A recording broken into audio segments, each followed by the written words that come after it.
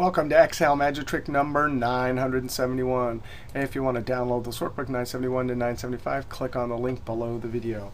Here we have some columns, four columns make up a row, and these are answers to questions. There'll only be one y in each row, the rest are n, and we need to know the position of the y.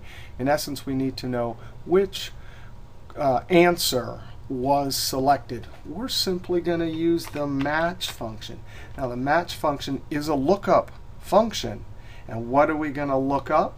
A y. So I'm going to put uh, y in double quotes. That's text. Anytime you have text in the formula, it has to be in double quotes. And it doesn't matter if it's a little y or a big Y. They both uh, are treated the same. That's what we're looking up. We're going to look it up in between in this relative uh, reference four cells to my left.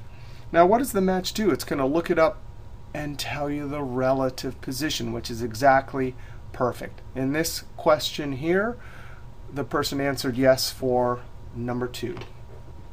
Now, uh, this data is obviously not going to be sorted, so we're going to use exact match 0. That tells us the type of lookup. Two. Control Enter, double click and send it down. I double click that little fill handle with my uh, angry rabbit and dragged it down. So 4, 1, 2 looks like it's working.